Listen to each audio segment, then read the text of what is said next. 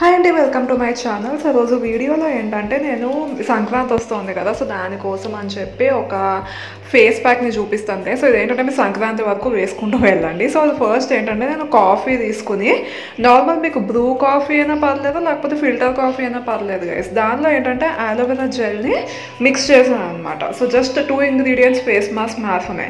So మీరు ఫేస్ని మంచిగా వాష్ చేసుకోండి మేకప్ అది రిమూవ్ చేసుకోండి. తర్వాత ఏంటంటే ఫేస్ ప్యాక్ని అప్లై చేసుకోండి.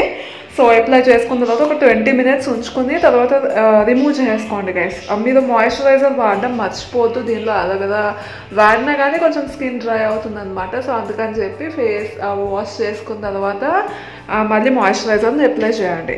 సో మీరు ఇలా రోజు ఒక వన్ వీక్ వరకు చేసుకుంటూ వెళ్తే ఏమవుతుందంటే మన స్కిన్ మీద ఉండే పింపుల్స్ యాక్నే ఇవన్నీ పోతాయి అనమాట ఎందుకంటే అలోవెరా జెల్ని యూస్ చేస్తున్నాం కాబట్టి.